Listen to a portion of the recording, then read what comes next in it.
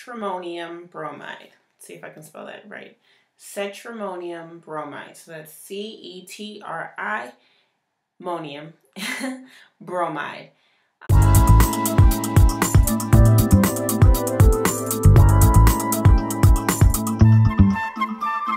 Cetrimonium bromide is largely found in your um, facial cleansers and other cosmetics and um, masks. Um, but a lot of times, and most of the time, you'll see it in conditioners. And it's it was a little different for me to see it in a conditioner because the primary, um, one of the main functions of it is as an antiseptic.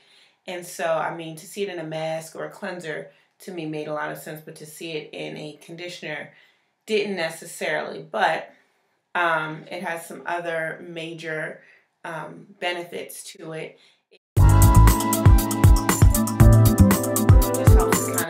Um, smooth the cuticles and smooth the hair down so that it's not, you know, you don't have those flyaways as much. So it also helps to kind of give it that smooth shine.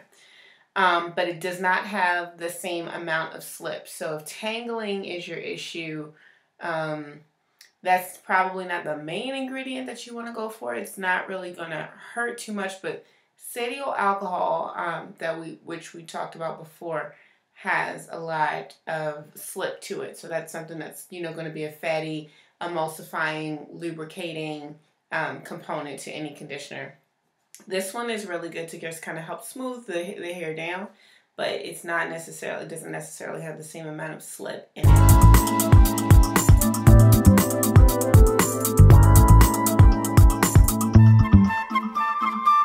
Protects skin and hair in order to prevent odor and by inhibiting the growth of microorganisms by helping water to be mixed with oil and dirt so it can be rinsed away. So in layman's terms, basically, it just helps to break up like those microorganisms and those little bits of dirt that kind of get in the hair and it helps it to rinse it away more cleanly. So that to me that helps to explain, you know, why it's an antiseptic and you know that so that's a good thing. So your conditioner is also cleaning your hair as well, but it's also, you know, providing some those conditioning benefits.